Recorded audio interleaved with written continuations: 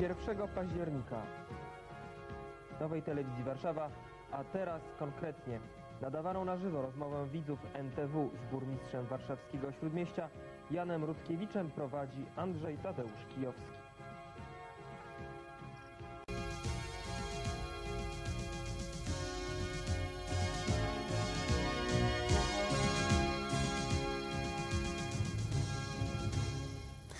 Dobry wieczór Państwu. Dobry wieczór, właściwie chciałoby się powiedzieć dobranoc o tej porze, już prawie północ, ale mam nadzieję, że parę osób do nas zadzwoni, bo taka możliwość istnieje. Możemy dzwonić do burmistrza warszawskiego Śródmieścia, do pana Jana Rutkiewicza. Witamy w studia.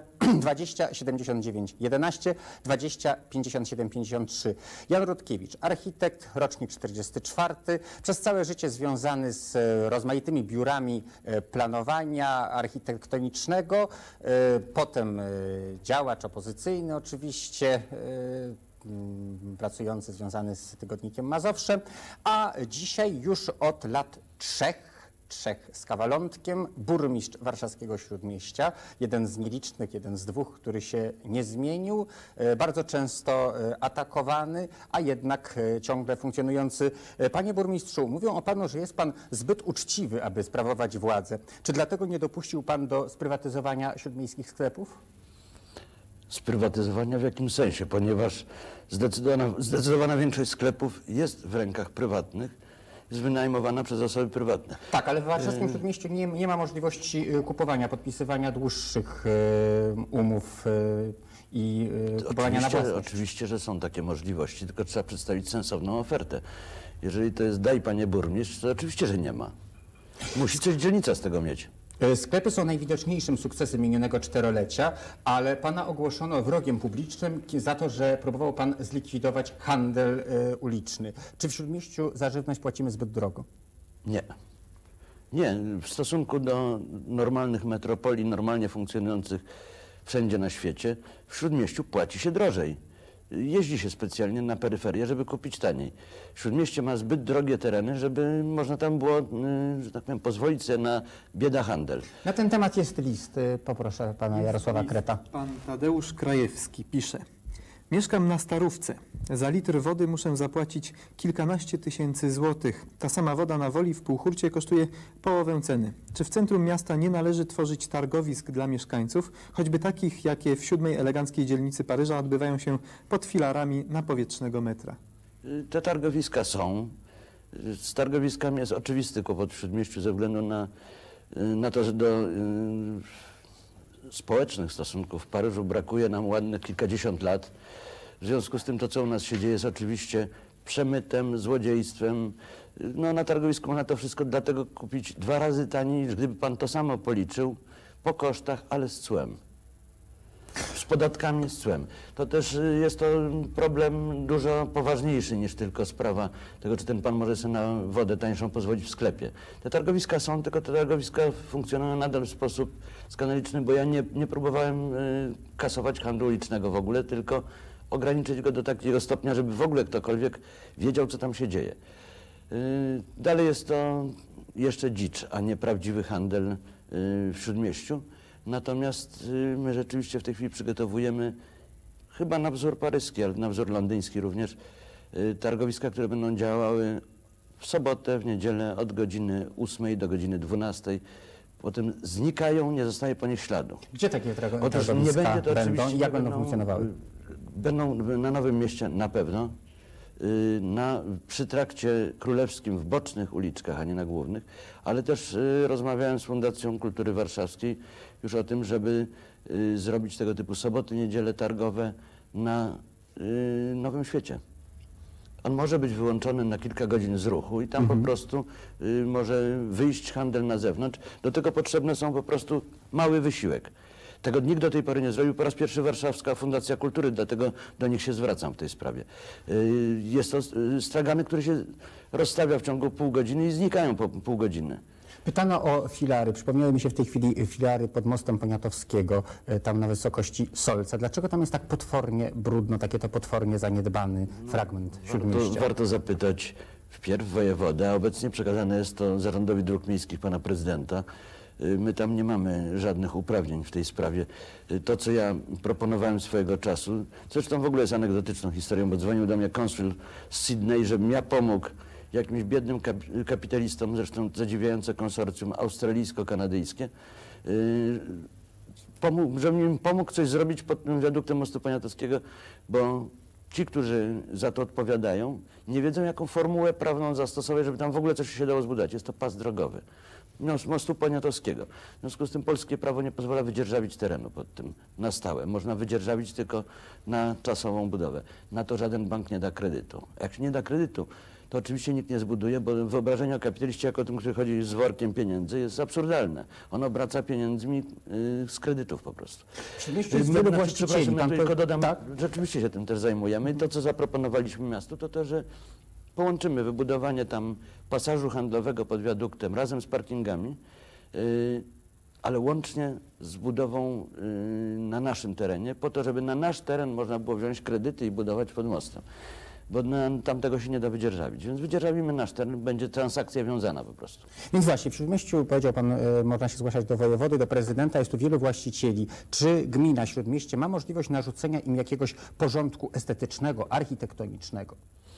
Czy ma tu jakąś moc Teoretycznie tak, teoretycznie tak i gdyby prawo było egzekwowalne w tej chwili w polskich warunkach, to tak, ale yy, no to jest to jedno ale, że prawo faktycznie jest nieegzekwowalne z rozmaitych powodów. Przede wszystkim dlatego, że taka jest mentalność po 45 latach, po 50 latach faktycznie, bo to jest pełna ciągłość, yy, polskiego społeczeństwa. Prawo to jest coś, co narzuciła władza i co trzeba łamać. I ten jest cwaniak, kto to złamie i bezboleśnie. To znaczy jeszcze go albo nie złapią, albo musi, albo jeszcze lepiej, jak go złapią, a nic mu nie zrobią, bo on ma takie chody. Na ten temat ciekawy list, y, proszę Jarosława Kreta. Ostatnio Śródmiejska Rada podjęła nieznaczną większością uchwałę zabraniającą mieszkańcom suszenia bielizny na lodżiach. Pan ponoć do tego namawiał. Zachęcony przez Gazetę Wyborczą na znak protestu suszyłem przez dwa tygodnie na mojej lodży parę pieluszek, pisze pan Jan Niepokulczycki. Pieluszki zgniły, a ja nie doczekałem się mandatu. Czy można wprowadzić prawo nie mając możliwości egzekucyjnych? Y, Trzeba próbować. Tyle, trzeba próbować, dlatego że y, mam nadzieję, że my dojrzejemy kiedyś do tego prawa, które jest respektowane nie dlatego, że za tym idzie kara, tylko dlatego, że to ma pewien sens. Nie ma sensu robić pcimia dolnego z, ze śródmieścia stolicy. Y, Otóż póki ten pan nie zrozumie, póki on się nie stanie prywatnym właścicielem, póki on naprawdę nie będzie płacił za mieszkanie, a będzie płacił jakąś maleńką część wartości czynszu mieszkania, to oczywiście on będzie spokojnie te pieluszki wieszał, żeby na złość mamie y, uszy sobie odmrożę. Y, Po prostu dlatego, że w przeciwnym wypadku, jak on rzeczywiście będzie miał do czynienia z własnością i z wartością rzeczy, to po prostu on sam będzie unikał wieszania, to jest, będzie tylko przypomnienie, ten regulamin porządku domowego będzie tylko przypomnieniem, bo wartość mieszkania spada, bo robi się niechlujne otoczenie, w którym lumpy może będą chciały mieszkać, a nie przyzwoici ludzie. W związku z tym oczywiście będzie starał się te pieluszki wieszać dalej, bo to nikomu nie przeszkadza specjalnie, ale za barierką, za osłoną taką, żeby tego nie było specjalnie widać, bo po prostu w tej dzielnicy, czy w tym, na tej ulicy nie będą ludzie zamożni kupować, bo w takim otoczeniu nie warto. No właśnie, czy uważa Pan, że miasto można uczynić metropolią poprzez nakazy, czy też jednak metropolią jeszcze nie jesteśmy? E, Prawo powinno się systematyzować po doświadczeniach. Najpierw trzeba stać się e, rzeczywiście drogim e, punktem, stać się właścicielem, chcieć do, dobrze to sprzedać, potem można wprowadzić pewien nakaz, na przykład, że nie suszymy pieluszek. Niczego tu nie można odkładać na potem. Niestety tu wszystko trzeba próbować od razu i nie wszystko wyjdzie z założeniem, że 10% tego, co robimy, wyjdzie. Jeżeli wyjdzie te 10%, to to już znaczy, że idziemy do przodu. Y, Natomiast najgorzej jest powiedzieć, że, że my to zrobimy kiedyś w przyszłości. To znaczy, że tego nigdy nie zrobimy. Jaki Pan jest przekonań politycznych? Pan jest liberałem? Może bliższy, może masz, można Pana nazwać socjałem? Nijak nie jestem w stanie siebie określić, nie mam, znaczy jestem, jak, że tak powiem, antypartyjny jako zasada. Y, Mnie mierzi ujednolicanie poglądów ludzi do, grupami dużymi, do tego, żeby wszyscy mieli taki sam pogląd y, jak przywódca, czy jak w programie zapisano. Przede wszystkim ze względu na to, że rzeczywistość jest tak skomplikowana, że można być liberałem w sprawach gospodarczych, socjałem w sprawach społecznych y, i y, jeszcze do tego, nie wiem, w sprawach wiary być katolikiem, a w sprawach, nie wiem, seksu być y, albo purytaninem, albo dzikusem. To jest do pogodzenia w każdej osobowości, że tak powiem, człowieka dziesiątki wariantów tych rozwiązań. I nie ma takiej możliwości stworzenia takiej ilości partii, żeby przypasować. Co partia, to człowiek powinien być po prostu. Kogoś pan lubi? Ma pan jakiś ideał? Oczywiście spośród y, ty, tego wachlarza partii czy przekonań politycznych, które są prezentowane w Polsce, z kimś mi jest bardziej po drodze, z kimś mniej. To jest zupełnie oczywiste. Z całą pewnością jest mi po pierwsze bliżej z tym, co mógł, uznałbym za środek, typu Unia KLD. Z całą pewnością nie mam nic wspólnego ze skrzydłami typu RDR, samoobrona, Solidarność dzisiejsza, mimo że przez Mówi pan o 10 lat byłem polityce, a kogo przewodniczącym pan lubi? Nie wiem, jakiego lubi pan piosenkarza? Y, jakiego piosenkarza? W zależności od rodzaju muzyki różnych, ponieważ ja lubię różne, różne rodzaje muzyki. Otóż też w literaturze zarówno y, Umberto Eco, jak Lema, zarówno, y, bo ja wiem, wiersze Baczyńskiego, jak Herberta. Jest to po prostu, człowiek nie może sobie wybrać jednego rodzaju literatury. Literatury, literatur jest tak wiele, że to byłoby bez sensu się tak ograniczać. Zostawmy ten temat. Wiele się mówi o ustroju miasta. Czy ustawę warszawską należy zmienić całkowicie, czy też wymaga ona e, jedynie drobnych korekt? Y, Według mnie nic, co dotyczy wielkich grup społecznych, nie, nie dopuszcza zmian całkowitych. Tu musi być pewien rodzaj ciągłości. Oczywiście według mnie ustawa o ustroju Warszawy wymaga korekt. One mogą być bardzo trudne w obecnej sytuacji, ponieważ to politycznej, dlatego że polityka przeniesie się w tej chwili na samorządy. To, co się zdało, zdarzyło w ostatnich wyborach, spowoduje, że teraz będzie czysta kalkulacja. Czy w Warszawie opłaca się Wielkie Księstwo Warszawskie, bo nasza, nasza partia ma tu szansę i my zagarniemy to księstwo, yy, czy też opłaca się ją pociąć na kawałki, bo my tu na pewno nie zdobędziemy przewagi, w związku z tym lepiej mieć rozproszonych przeciwników. Wrócimy do polityki. Tu Pierwszy nie, telefon. nie będzie myślał o Warszawie po prostu. Halo? Y, Ja prowadzę kantor wymiany walut i chciałem zapytać pana, na jakiej zasadzie w Śródmieściu ustala się czynsze za najmowane lokale? Ponieważ ja prowadzę kantor na peryferiach jakby Śródmieścia i stawka czynszu wynosi około 200 tysięcy złotych za metr. Natomiast wiem, że koledzy prowadzą kantor w samym Śródmieściu i ta stawka wynosi 100 tysięcy złotych za metr. To jest jakby, odpowiedź jest prosta. Prawdopodobnie, mogę być prawdopodobnie, bo nie znam akurat tego przypadku, ale startował pan w konkursie ofert, yy, który, w którym złożył pan taką ofertę. I ta oferta została wybrana. Otóż my po prostu naprawdę odeszliśmy od dyktowania, gdzie jaka ma być cena. Zależy nam na tym, żeby one były przyzwoite, dlatego że mamy w tej chwili dwukrotnie niższe ceny niż w spółdzielczych A budynkach. przepraszam, to ja tego nie rozumiem. Startował pan w konkursie ofert, Mówię o została wybrana, a gdzie indziej została wybrana w e, lepszym miejscu e, z niższą ceną? Oczywiście.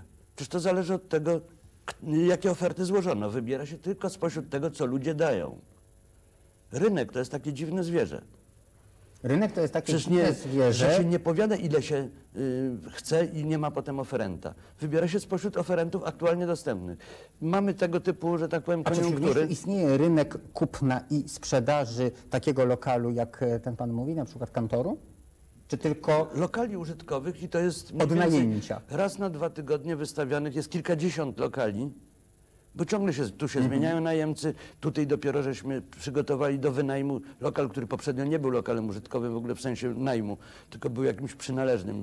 Y, Czasami były to lokale po prostu nieużytkowane długo. I tam po prostu wybieramy spośród ofert. e, następne pytanie? Garaże w w Śródmieściu. Dlatego, że ceny garaży w tej chwili wyszły 30 tysięcy z metra. Inwalidów jest nie stać na płacenie takich sum. Dla, dla, dlaczego tak jest? Plus do dodatki dochodzą, wychodzi około milion, miliona złotych za garaż. To dziękuję Dobra, bardzo. no, odpowiedź jest jakby znowu prosta. My y, w zarządzie domów komunalnych, który jest zarządcą dzielnicy y, w sprawach najmu, y, po prostu skalkulowano wstępnie ceny tych garaży na podstawie tego, co kto był gotów płacić. Potem do tego ułożono i Rada Dzielnicy zatwierdziła jakby podział generalny na garaże i zasadę najmu, że pierwszeństwo w najmie garaży mają lokatorzy danego podwórka żeby obcy im nie wjeżdżali, jeżeli po nich nie wszystko wynajmą, to dopiero wtedy może wyjść ktoś z zewnątrz. W danym kwartale czy osiedlu pierwszeństwo mają mieszkańcy tego kwartału osiedla i lokatorzy również lokali użytkowych tego kwartału y, bądź osiedla. I dopiero następna, trzecia kolejność to są mieszkańcy dzielnicy i firmy zatrudnione w dzielnicy.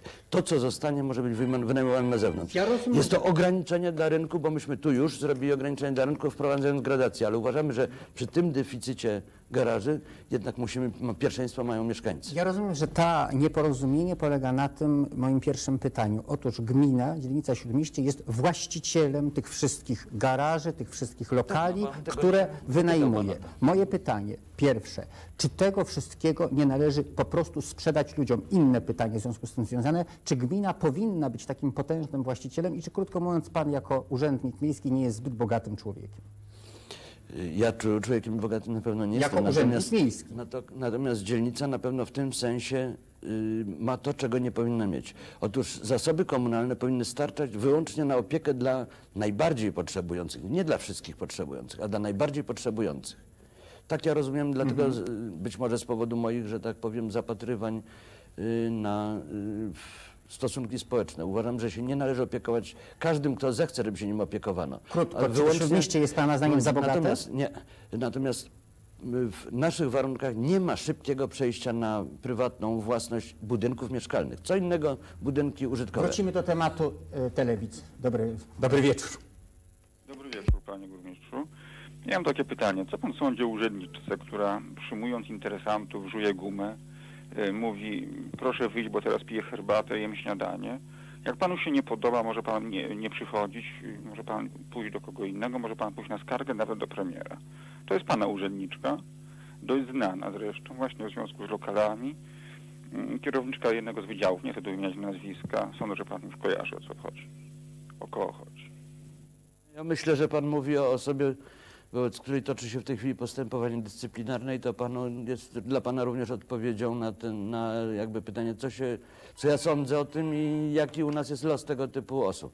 Y, To przy okazji pytanie, jak Pana zdaniem jest zorganizowany Urząd Dzielnicy Śródmieście? Ja y, próbowałem tam parę razy się czegoś dowiedzieć i y, na przykład potrafiłem się dowiedzieć w kompetentnym miejscu, że mieszkania y, kwaterunkowe mogą być sprzedawane lub nie muszą być sprzedawane, mimo że skądinąd znana jest mi uchwała Rady Dzielnicy, która na ten temat y, ma zupełnie inne stanowisko. E, Czy ten urząd e, jest e, Pana zdaniem dobrze e, zorganizowany? E, Czy urzędnicy są kompetentni? W zakresie sprzedaży mieszkań? Oczywiście, że tak. I to są naprawdę wysoce kompetentni. Odpowiedziała prawidłowo. Dzielnica nie, nie ma obowiązku sprzedania wszystkich domów, co więcej, dzielnica nie ma możliwości sprzedania wszystkich mieszkań, yy, nawet własnym lokatorom, że tak powiem, yy, ze względu na stan prawny tych lokali. Do niektórych są roszczenia, dla, nie, dla większości nie ma ksiąg wieczystych i sąd rejonowy daje termin półtora roku w tej chwili. Yy, Dla części wojewoda jeszcze nie wydał decyzji komunalizacyjnej, w związku z tym one wiszą w powietrzu, nie wiadomo czy je są. My nimi zarządzamy, za nie płacimy, ale może nie będą nasze. Wrócimy do tematu telefon. Może zanim, e, zanim e, przekażę głos telewidzowi, ja mam e, na ten temat list również. Krótki, pan Stachowicz J, nie wiem jak ma na imię. Zajmuję żonę lokal kwaterunkowy, na razie nie mogę, e, kawalerkę, na razie nie mogę jej kupić w Śródmieściu. Dwie ulice dalej, też w Śródmieściu, zwolniło się mieszkanie kwaterunkowe dwupokojowe. Można w tym domu wykupić mieszkania. Tę szansę mają tylko lokatorzy tych mieszkań. Dlaczego ja nie mogę kupić od kwaterunku tego wolnego mieszkania? Yy, Z tego powodu, że nie jest lokatorem. To jest prawo geodezyjne, które powiada, kto ma pierwszeństwo do kupna i poza tymi, którzy mają pierwszeństwo do kupna tego, gdzie, w czym mieszkają, my musimy wystawić na przetarg. Otóż na przetargu ten pan by zapłacił w tej chwili mniej więcej 5 do 7 razy drożej za to mieszkanie. Jeżeli będzie chciał nas kupić na przetargu, będzie mógł to kupić. Czy mamy telefon? Tak, mamy telefon. Y, Proszę mówić, dobry wieczór. Dobry wieczór. Ja chciałem zapytać o podnoszenie czynszów za pracownie plastyczne. Dlaczego tak się dzieje? Na jakiej podstawie? Co mówi prawo? I jaka jest przyszłość tych pracowni? Y, Przyszłość w Śródmieściu tych pracowni jest oczywista. Y, Mam nadzieję, że Polska jako całość będzie zmierzała do tego, żeby lokatorzy również pracowni plastycznych płacili co najmniej po koszcie utrzymania budynku. Y, Ze względu na to, że dokładanie do plastyków lokatorów wszystkich również oznacza wyłącznie wyjmowanie komu innemu z kieszeni. Nic więcej. Otóż nie ma powodu, żebyśmy robili za Janosika, który wyjmuje jednym z kieszeni, żeby dawać drugim. Y, Wyłącznie powinno to być ograniczone do wypadków naprawdę niecierpiących, że tak powiem, zwłoki, czyli po prostu ludzi naprawdę biednych, nie ze swojej winy. Y, Nie uważam, żebyśmy powinni utrzymywać plastyków, ponieważ nie uważam, żeby to był zawód, który y, jest zawodem szczególnie chronionym.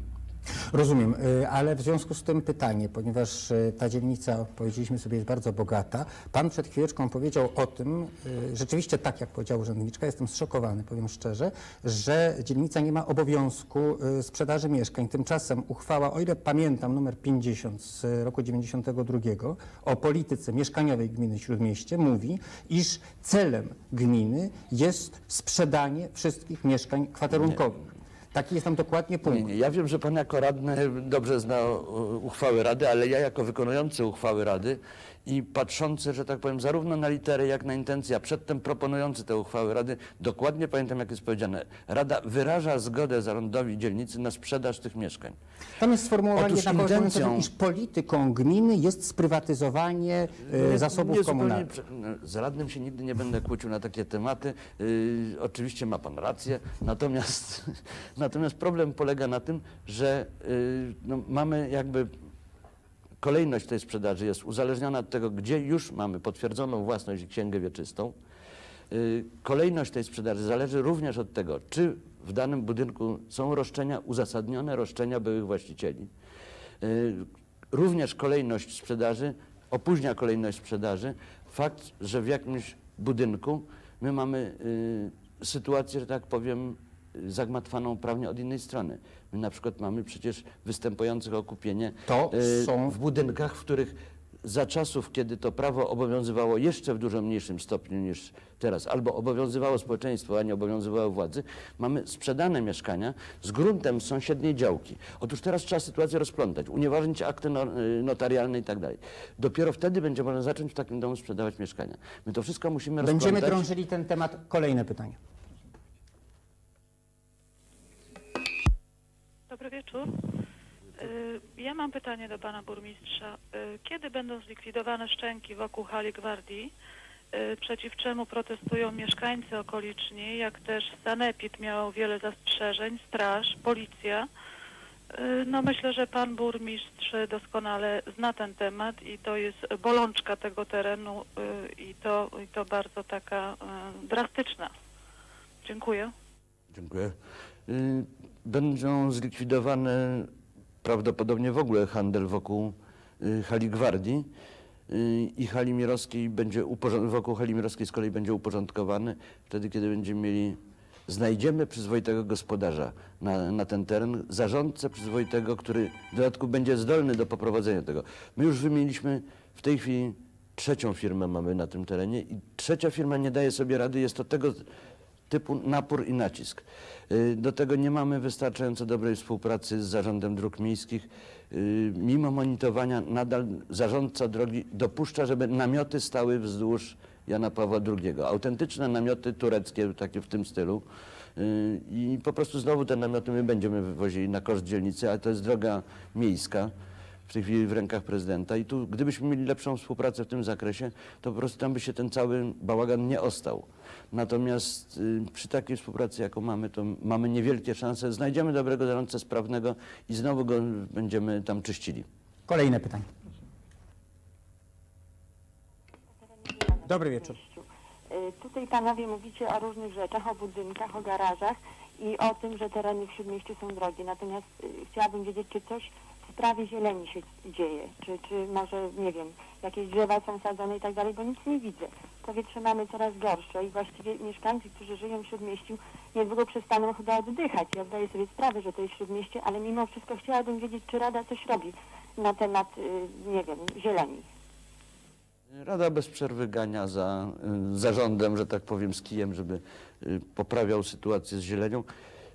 Wystarczy zajrzeć na, do tych parków i na te skwery, które my utrzymujemy. Y, Jest to zupełnie dobry standard, wystarczający.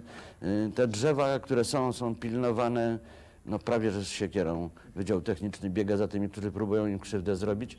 Y, Natomiast no, zdarzają się nam się bez przerwy różne kłopotliwe sytuacje typu tego, że ostatnio na przykład przy Placu Trzech Krzyży spec wymieniając rury poprzecinał korzenie drzew. No ale to się po prostu przy, tym, przy tych technicznych pracach zdarza i tu y, będziemy egzekwowali dosadzenie w tym samym miejscu albo w innym miejscu, jeżeli tu się nie da już na tych rurach y, drzew. I jest to akurat w, w tej działce, jest to y, moim zdaniem wystarczająco dobrze robione. Warto porównać sobie, nie wiem, skwer pod y, Pałacem Kazimierzowskim, który my utrzymujemy, ogród saski miejski, który już jest na dużo słabszym poziomie utrzymania, oraz to, gdzie jeszcze po wojedzie, wojedzie nikt nie przejął tych terenów wzdłuż ulic i gdzie ten, ta zieleń w ogóle nie jest utrzymywana. Żeby zamknąć temat mieszkaniowy, ja rzeczywiście przez trzy lata jako radny nie byłem się w stanie tego od Pana dowiedzieć, teraz chciałbym się dowiedzieć. E, Cztery lata temu powiedziano, że można w końcu sprzedawać mieszkania na Starówce. Przez trzy lata nic w tym c- celu nie zrobiono, to znaczy fizycznie się ich nie sprzedaje. Co więcej, pańscy, nasi urzędnicy za- zapytani nie tylko w stosunku do Starówki, w stosunku do jakichkolwiek mieszkań, gdzie jest nieuregulowana sytuacja prawna, nie dają ludziom żadnej sensownej daty i sprawiają wrażenie, że sprawiają wrażenie, że może to trwać w nieskończone, że czeka się bądź na śmierć lokatorów, którzy chcą to wykupić, bądź być może na łapówkę. Y, Jest takie poczucie w mieście. Czy jesteśmy w stanie określić jakiś terminus ad quem, jakiś ostateczny termin, w którym te wszystkie problemy, które są do wyczyszczenia w sprawach sprzedaży mieszkań kwaterunkowych, wyczyszczone zostaną? Y, Otóż rozumiem, że zadał Pan to pytanie jako radny. Otóż jako radnemu odpowiadam Panu, że Pan się zachował nieodpowiedzialnie, mówiąc o tym, że nic nie zrobiono i wiedząc o tym, że robiono wszystko i całkowicie nie od nas zależą zarówno terminy, jak to, co, czy my te mieszkania w ogóle kiedykolwiek sprzedamy. Bo nie od nas zależy, czy wojewoda podejmie w końcu decyzję, nie od nas zależy, czy sąd rejonowy raczy się, że tak powiem, zlitować i założyć księgę I wieczystą. teraz chcę się właśnie dowiedzieć, co zależy od Pana jako od burmistrza w sprawie na przykład do notariatu. Mówią mi y, w urzędzie dzielnicy, to jest w notariacie i w tym momencie rzecz odpływa w jakąś kawkowską przestrzeń, bo tam już notariacie dojścia nie, ma. W notariacie pan- jest całkowicie od nas zależne. Więc pytam, Notariat działa na zasadach komercyjnych.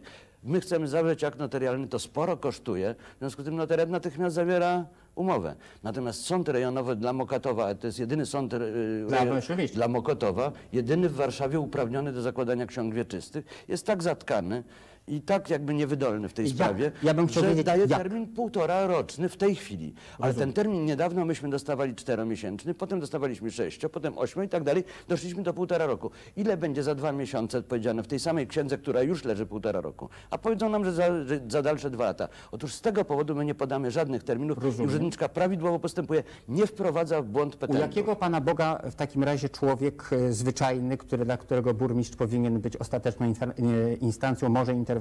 Nie wiem, mogę tylko powiedzieć coś, co może, może się wszystkim wydać oburzające i dla mnie jest oburzające, że firma, zamożna firma, która chce sobie założyć księgę wieczystą, bo od nas chce kupić teren, potrafi ją założyć w dwa tygodnie.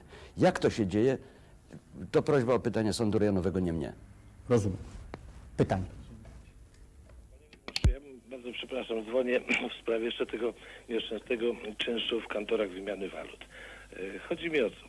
Myśmy ten lokal, ten lokal posiadamy już od 15 lat, gdzie była działalność w ogóle usługowa prowadzona i ten czynsz wahał się od 20 do 50 tysięcy maksimum.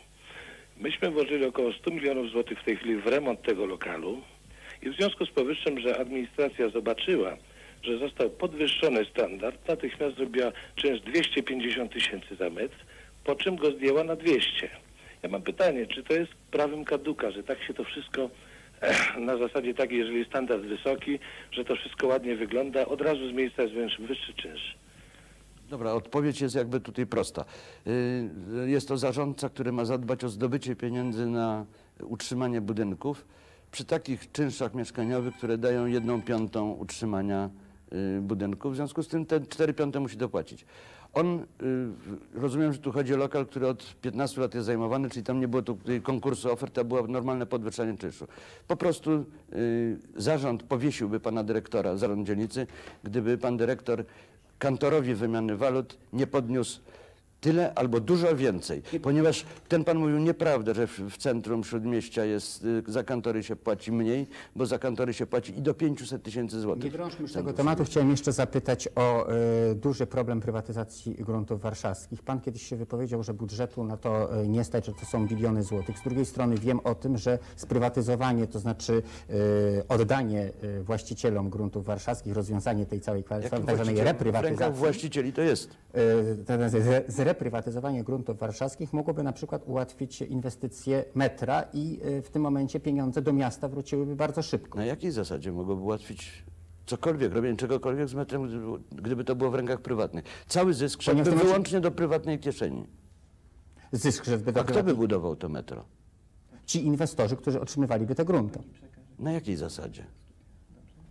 na zasadzie udziału. To jeżeli dzielnica zarobi pieniądze na tym, na sprzedaży tego i Rada wyrazi na to zgodę, to zgodnie z moją propozycją dzielnica w całości przekaże zysk na metro. Prywatny właściciel na jakiej zasadzie? A dlaczego nie ma tego, za to sobie inwestować, kupić dworku, kupić dobrego samochodu, czy dobrze zainwestować w swoje przedsięwzięcie, a nie w metro, które nie jest żadnym przedsięwzięciem, na którym można zarobić. Rozumiem, że gdyby to była sprawa y, przedsięwzięcia, które można jako spółkę akcyjną prowadzić tak dalej, bo przyniesie kiedyś dochody, to byłaby szansa. Tu oczywiście nie ma tutaj takiego w ogóle związku. Reprywatyzacja spowoduje gwałtowne załamanie miasta, to jest oczywiste zupełnie. Ja nie mówię o państwie, które tutaj rozumiem, że rząd się o to martwi, skąd się weźmie te kilkadziesiąt bilionów złotych na, na tą całą akcję. Ale y, mówię o mieście. W mieście spowoduje to taką zmianę stosunków, która według mnie powinna zresztą nastąpić, ale nie powinna nastąpić na zasadzie komuny. Otóż reprywatyzacja jest komuną zwykłą.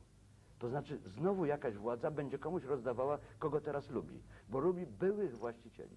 Otóż my prowadzimy cały szereg postępowań tam, gdzie ten były właściciel udowodnił, że zabrano mu bezprawnie i, oddajemy, myśmy oddali już osiem budynków i oddajemy następne, dlatego że jest to nie żadna reprywatyzacja, tylko zwykła sprawiedliwość. Ten tryb, którym się po prostu sprawdza, co jest zgodne z prawem, co nie, będzie trwał oczywiście dużo dłużej niż akcja reprywatyzacyjna. Ale po pierwsze będzie uczciwy, po drugie nie będzie rozdawnictwem i po trzecie jest względnie bezpieczny dla miasta i dla mieszkańców. Jest rozłożony w czasie. Ostatnie pytanie. wieczór. Ze względu na to, że jest to ostatnie pytanie, chciałam zadać co, pytanie panu burmistrzowi, co zależy od niego jako od gospodarza dzielnicy. Zaniepokoiło mnie to, o czym pan mówił o terenach pod mostem Poniatowskiego, że to nie należy do pana, nie zależy od pana, tylko od zarządu dróg i mostów. I w jaki sposób pan jako gospodarz dzielnicy zarządzający ją może tolerować ten stan, który jest w tej chwili, to znaczy te slamsy trwające od trzech lat? Co wobec tego zależy od pana? Y, Jest to akurat prawidłowa sytuacja, ponieważ burmistrz nie powinien mieć, że tak powiem, nie, nie powinien móc bezpośrednio dysponować żadną własnością. Za wyjątkiem ściśle opiekuńczej puli mieszkań komunalnych oraz przedsięwzięciami, które dzielnica y, wybudowała, bo jest to czysta użyteczność publiczna niedochodowa. Y, To, że Sejm nie wymyślił zarządu powierniczego w ogóle dla mienia i Skarbu Państwa, i y, dzielnic jest w ogóle zbrodnią. Oddano urzędnikom do dysponowania gigantyczną własność. Ci urzędnicy albo ją jako niefachowi po prostu i nie siedzący na miejscu w tym budynku, w tym lokalu, oczywiście będą gorzej zarządzać. To przynosi, to nie są straty, jakby Musimy to jest skończyć, brak dochodu. czas się zdaje się Ja wyczerpał. tej pani Panie burmistrzu, ostatnie pytanie. Zacząłem od uczciwości. E, chcę zapytać na zakończenie, czy w sposób uczciwy Według mnie w tą stronę to wszystko zmierzało. Co będzie z PSL-em i z SLD? Bardziej się tu boję PSL-u czy Unii Pracy niż y, SLD nawet. Y, na- y, Obawiam się, że to będzie w tej chwili gwałtowne cofnięcie. To nas cofnie cywilizacyjnie ładnych parę lat, będziemy znowu mieli co odrabiać, ale społeczeństwo to A wytrzyma, łapy Warszawa to wytrzyma. Oczywiście, że będzie więcej, ponieważ każda polityka restrykcyjna w tym zakresie podnosi wartość towaru i po prostu łapodnictwo będzie kwitło jak za komuny. Dziękuję burmistrzowi Janowi e, Rutkiewiczowi za przyjście do naszego studia. Dziękuję Państwu, że dzwoniliście do nas e, późną nocą. E, Dziękuję Jarosławowi Kretowi. Zapraszam za tydzień o tej samej porze na spotkanie z dyrektorem Centrum Zdrowia Dziecka, panem Pawłem Januszewskim. A więc za tydzień w piątek, a teraz konkretnie.